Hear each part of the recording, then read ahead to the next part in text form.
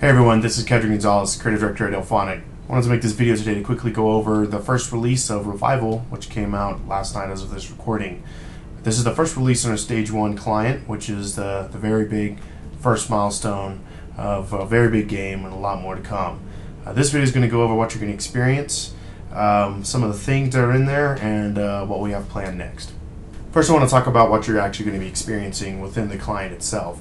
You're having any issues downloading or trying to figure out how to install the client, we went ahead and put instructions in the comments of this video. If you're having any problems outside of that, we recommend you go into the forums and try to, you know, talk about it there because if you're posting in the comments, there's a good chance we're going to miss it because, you know, YouTube comments, you know how those go. But anyways, so if you're going to get getting in the client, you're opening it up for the first time, what you're going to see is the very first stage of stage one. That's the first client. So the, in this stage, what you're experiencing is your house. If you purchased one through the Revival website, you can now access it and run around it and take a look. It's the very first step. It's all foundation stuff. Not much to see yet, but it's uh, definitely the big. It's a very big step. A lot of content. 45 different houses are available right now.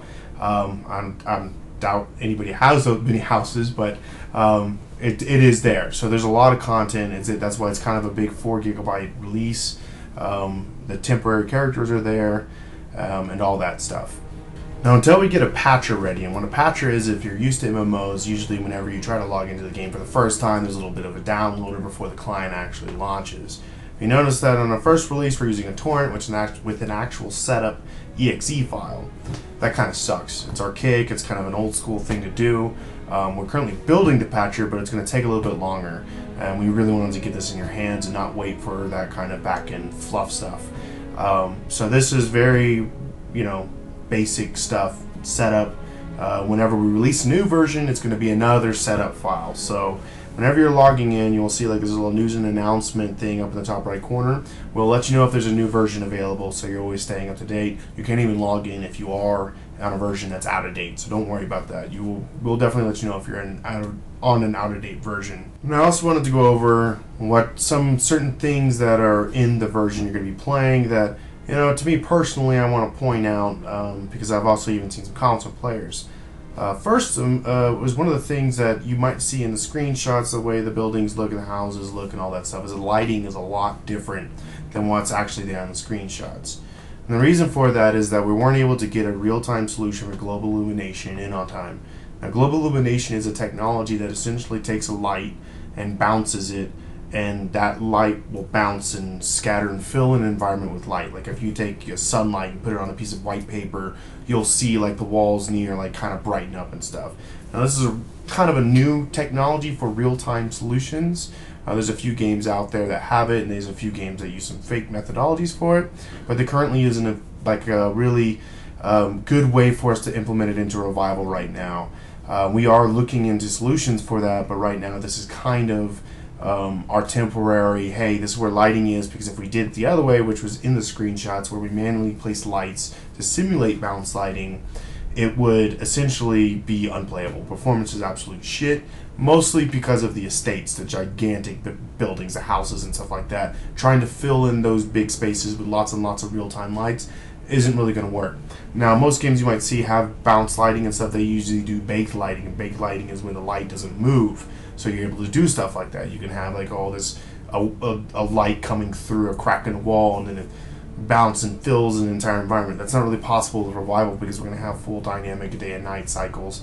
So we really need a real-time global illumination global illumination system. Uh, this is a current current kind of setback for us in this release. Um, I have talked about it before, and I'm hoping, I'm hoping I put some little overlay images here so kind of show like what this one technology from NVIDIA they have is uh, a real-time uh, voxel-based GI solution, which we're experimenting with, uh, which hopefully I think is going to be a solution. Um, we have a lot to learn with it. Our assets aren't optimized for it yet, um, but it might be something that gives us that uh, really truly next gen lighting we, we desperately need for revival. Um, so consider the lighting you're experiencing right now kind of a temporary thing.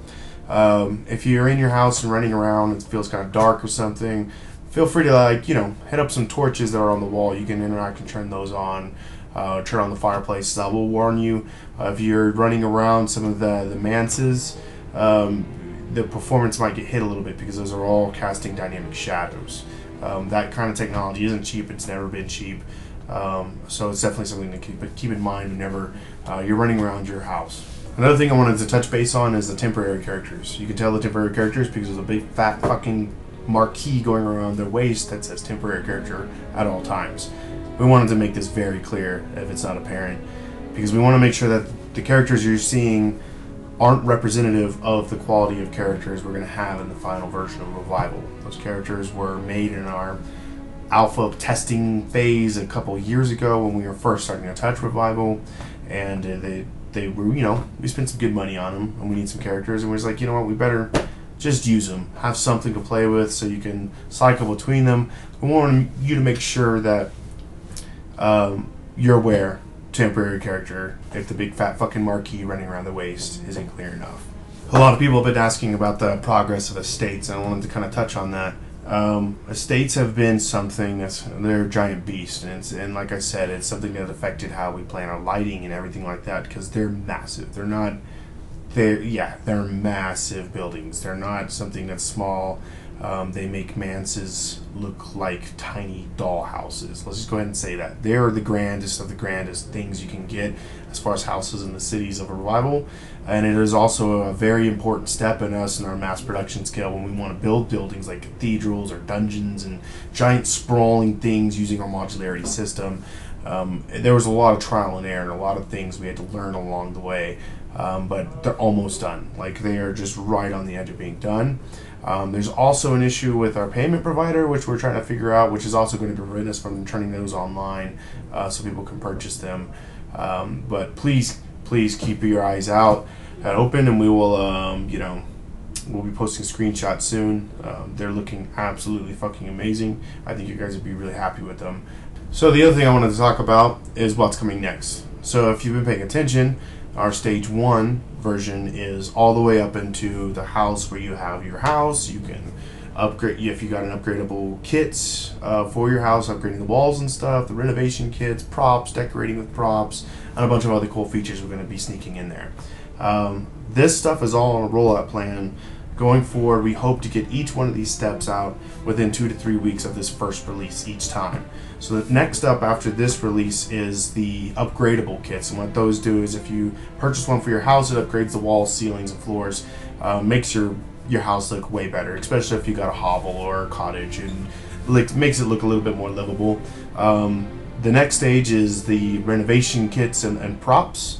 Uh, I think it's the props first. The props is going to be just, hey, if you bought props, you'll come in, you'll see your house decorated all over the place, and then you can go into a house decorate mode where you're flying around with the camera, you're picking up stuff, and you're decorating your house with all the props. It's really cool. Um, that whole system is still being worked on, um, but it shouldn't take too much longer. Uh, the step after that is the renovation kits. That's all the themed rooms you might have been you might have purchased for your home. Um, those have a lot of functionality and other things they're going to add to your home uh, in later releases. So um, these are the first steps, and each one of these things are going to come out.